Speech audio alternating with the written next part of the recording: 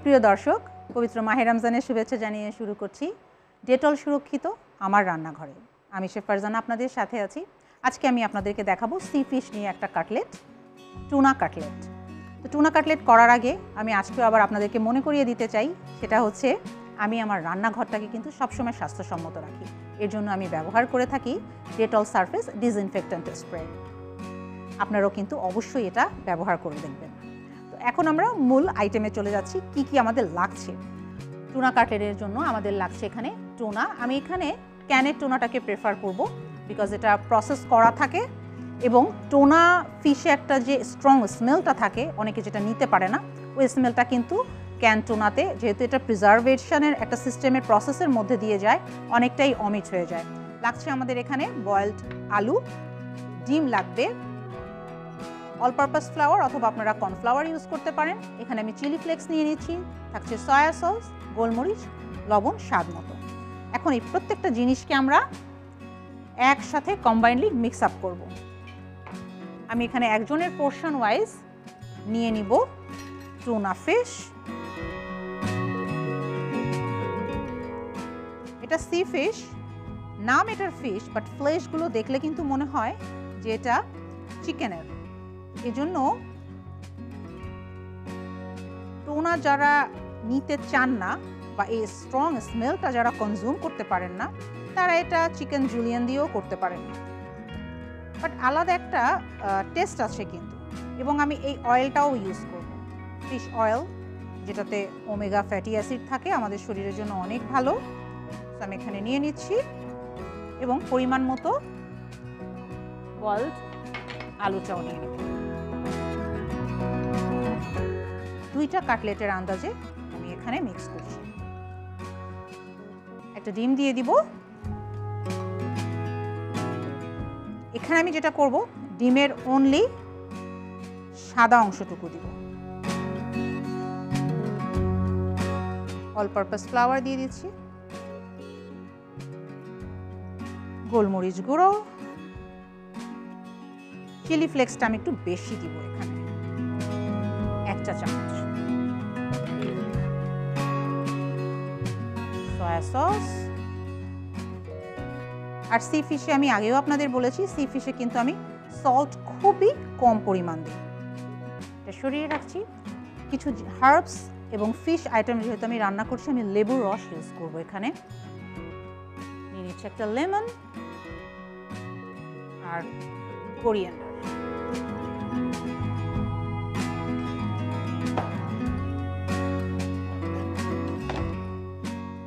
এই লেমন জুসটা আমি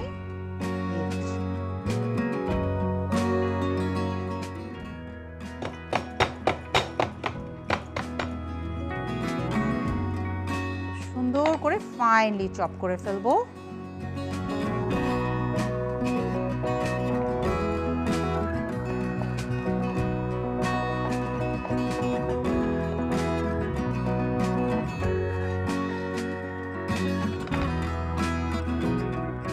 এটা আমি এখন মিক্স আপ করব এবং আমার বার্নারটা হিটে দিয়ে দিব।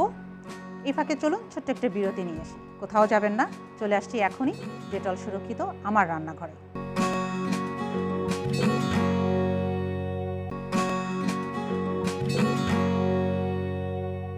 সুপ্রিয় দর্শক, চলে আসলাম বিরতির পর ডেটল সুরক্ষিত আমার রান্নাঘরে।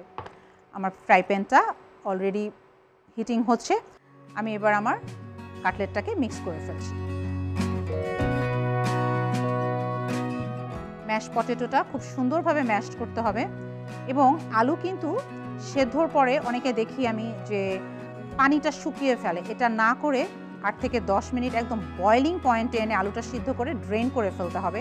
তাহলে হবে কি, খুব বেশি ওয়াটারি টেক্সচারটা ভেতরে থাকে না। কারণ আলু এমনি হচ্ছে স্টার্চ থাকে, যেটা কম্বাইন্ডে হেল্প করে। সেক্ষেত্রে আলুতে ওইভাবে পানি পুরোটা সোক করে অ্যাবজর্ভ করার কোনো প্রয়োজন পড়ে না। তো এটা সুন্দর মতো আমি কাটলেটের শেপ আনব। তার আগে এটা এখানে থাকুক, তার আগে আমাকে যেটা করতে হবে, এটাও আমি একদম অল্প পরিমাণে অয়েল দিয়ে দিলাম শ্যালো ফ্রাইয়ের জন্য।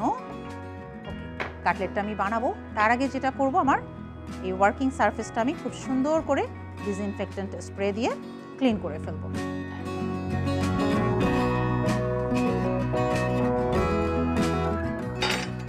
অবশ্যই যখন আমরা ওয়াইপ করব, আমাদের ডাস্টার বা ক্লথটা ভেজা থাকতে হবে। আমরা এখন রেডি দিয়ে দিচ্ছি কাটলেট আমি এটা একটা শেপ করব রাউন্ড কাটলেট করব না। খুব সুন্দর করে আমি এটাকে একটা শেপে আনব। এটা যার যার ইচ্ছার উপরে। তো আমি এখানে একটা পান পাতার মতো শেপ দিয়ে দিচ্ছি। এরকম করে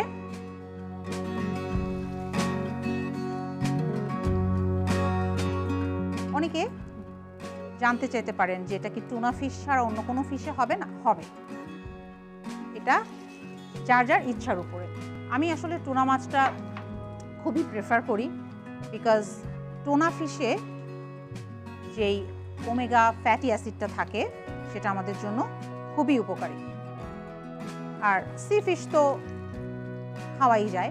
এই যা এটার জায়গায় আপনারা চাইলে হচ্ছে রেড স্ন্যাপার দিয়েও করতে পারেন। এটা হতে থাকুক। ইন দ্য মিন টাইম আমি প্লেটিংটা করে ফেলব।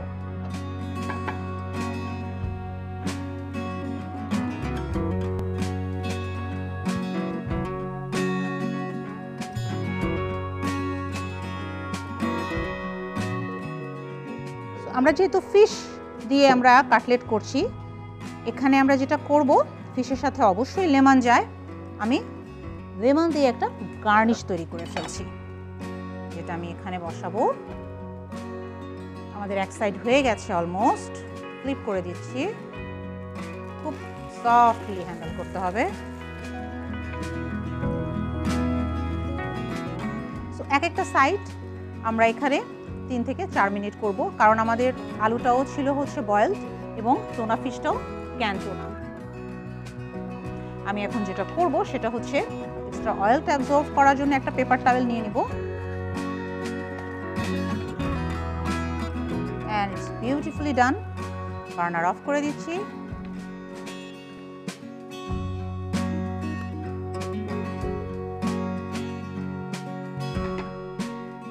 এখন আমি সার্ভ